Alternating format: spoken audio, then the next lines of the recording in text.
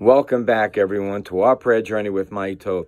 Today, I want to take a look at Supreme Court stacking and the motives behind it. And I'm going to tell you there's a deep motive that they don't even know is, which is causing them to do this kind of thing.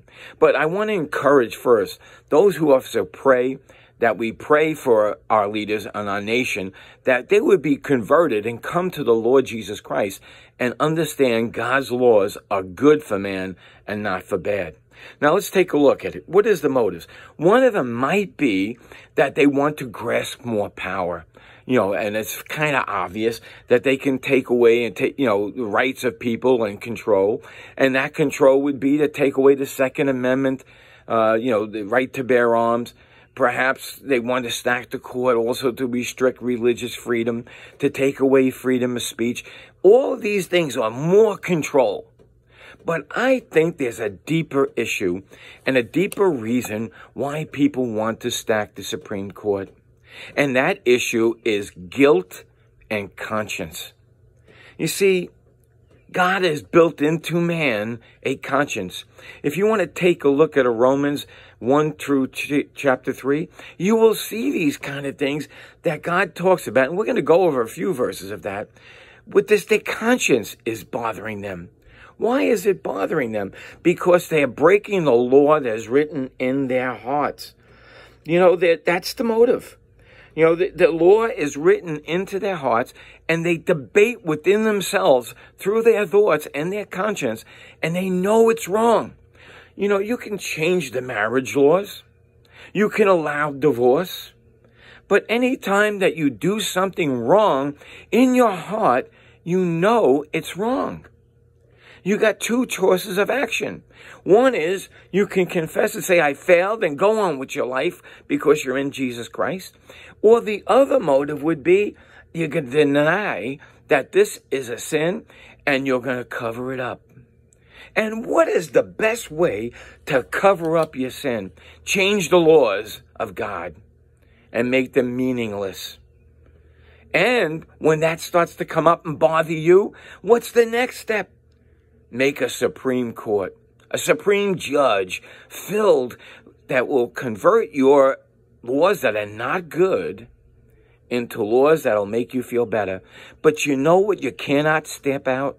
Your conscience. You know, if you're depressed, it's probably, if you're not some kind of mental problem with physical imbalances, then it's probably guilt. Your conscience you need that load lifted. You need Jesus Christ to come into you. All right, so what happens? These people here are of a different mindset than anybody else. And let me prove it to you from reading something from Romans 128 through 32. And this was written 2,000 years ago by the Apostle Paul. And here's first, first verse in 28. And even as they did not like to retain God in their knowledge, God gave them over to a reprobate mind. You know, it comes to a point when you won't listen to conscience anymore. God says, you know what? You're over to a reprobate mind. That means it cannot be corrected. It is turned to a point where it, it, there is almost no hope. The only hope is Jesus Christ, coming to Him and confessing your sins and getting that burden off of you.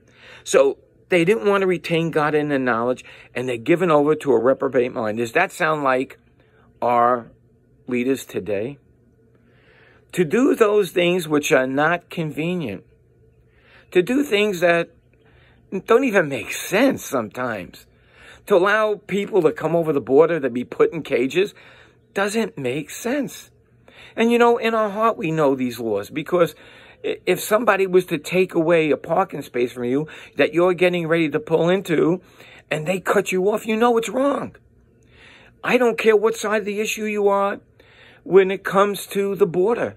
When you see kids in cages, it's wrong.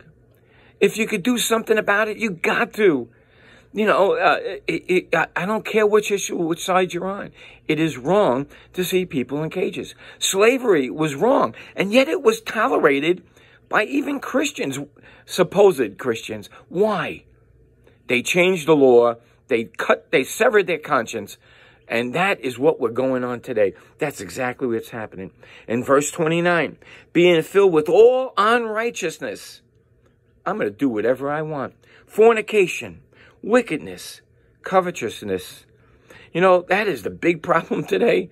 You know, what is socialism to the degree that people want to burn everything down? It is coveting, envying what your neighbor has, even if they work for it. What is the matter with these people? They're reprobate minds, maliciousness, full of envy, murder. You know, and you don't have to murder, according to Jesus, to be a murderer, although we got some of those. All right? If you hate your brother, and you hate your sister, if you hate a stranger, Jesus says you're guilty of murder. It's what's in the mind. I mean, just because you didn't carry it out, you cannot be haters uh, uh, of other people and be right with God. They're boasters. Do we have that today? Do we have that in our politics today? Boasters, backbiters, haters of God, despiteful, inventors of evil things, disobedient to parents. These are all of the things that are outlined in Romans. I'm not reading it exactly.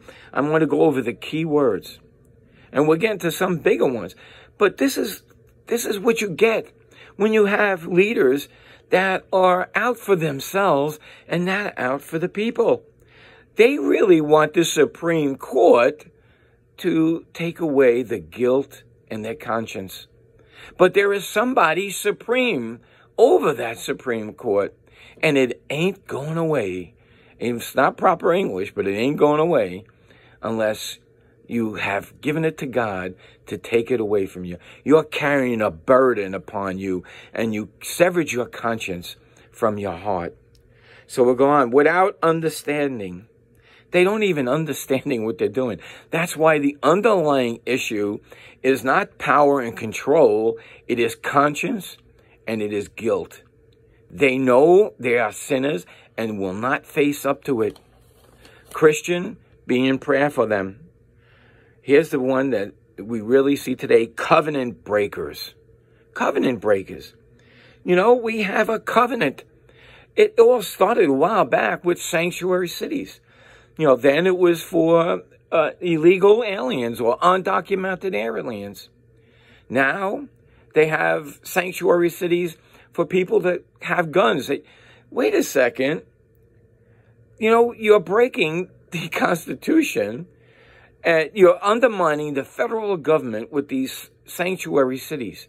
These things should be worked out in proper debate, not backbiting debate, not making you know, law not in effect one place that's in another.